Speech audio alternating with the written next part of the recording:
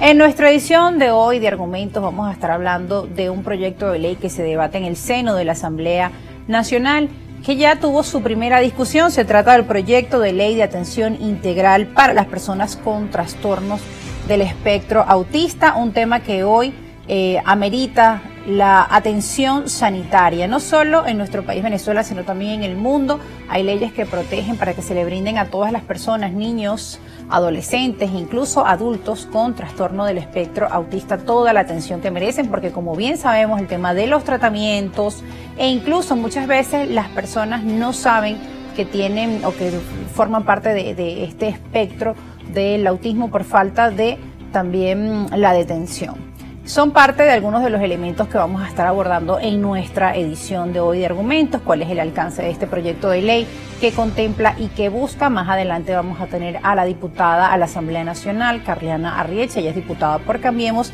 y también nos va a estar acompañando Johanna Peñalver, coordinadora nacional del proyecto Ley de Autismo y condiciones similares y coordinadora general de la Organización Venezolana de Autismo. Iniciamos esta edición de argumentos recordándole nuestras cuentas en redes sociales para que también nos haga llegar sus preguntas y sus consideraciones.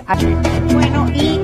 vamos a iniciar de inmediato revisando qué es exactamente el trastorno del espectro autista y también qué contempla este proyecto de ley. Dentro de sus consideraciones generales lo vamos a revisar en la exposición de motivos lo siguiente, lo van a ver ahora en pantalla. Esto está dentro de este proyecto de ley discutido en primera discusión por la Asamblea Nacional. Los trastornos del espectro autista TEA son considerados en la actualidad como un asunto de atención prioritaria a nivel mundial y se definen como patologías de origen neurológico que se caracterizan por alteraciones en el funcionamiento en múltiples áreas del desarrollo, desde leves a severas en la comunicación e interacción social y presenta y presencia de comportamientos, intereses y actividades persistentes, restringidas, estereotipadas, así como falla en el procesamiento sensorial. Y aquí hay unas estadísticas, más adelante en este texto, en el segundo párrafo, siguiendo las estadísticas de la Organización Mundial de la Salud, uno de cada 160 niños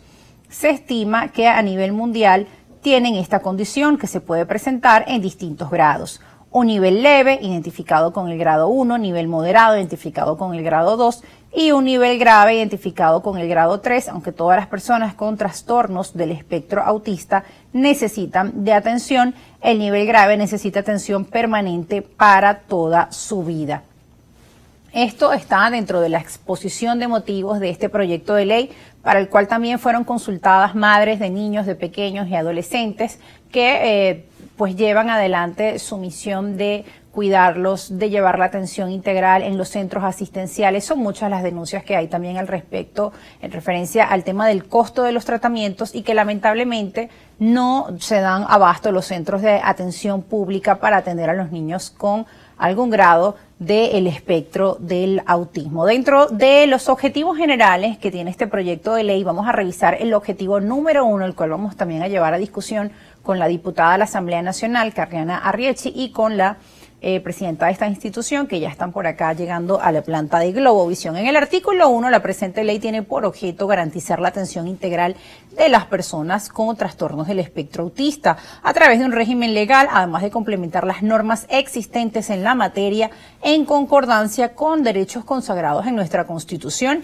y en los tratados, pactos y convenciones internacionales relativos a los derechos humanos, suscritos y ratificados por la República Bolivariana de Venezuela sin prejuicio de los derechos tutelados por otras leyes u ordenamientos. Eso, por un lado, por el objeto de las disposiciones generales de este artículo. Ahora también, en cuanto al tema de los derechos y el tema del derecho a la salud, en el artículo 11 de este proyecto de ley está dispuesto que toda persona con trastornos del espectro autista tiene derecho a la salud como derecho humano fundamental, parte del derecho a la vida garantizado por el Estado social de justicia y de derecho con fundamento a lo establecido en la Constitución y la ley. El Estado garantizará la atención integral a las personas con trastorno del espectro autista en las instituciones especializadas y destinadas para tal fin. Estamos hablando que el tratamiento y el abordaje multidisciplinario se trata de eh, condiciones médicas asociadas como neurológicas, gastrointestinales, inmunológicas y metabólicas, así como también las áreas de neurodesarrollo con terapias de lenguaje ocupacional y de integración sensorial, psicoeducativa, psicopedagogía, psicología, psicosociales, docente, especialista y trabajo social, así como otras asociadas. Sobre este tema vamos a estar hablando al regreso en nuestra edición de argumentos con la diputada Carliana Riechi, eh, ella diputada de la Asamblea Nacional por Cambiemos, así como también con Johanna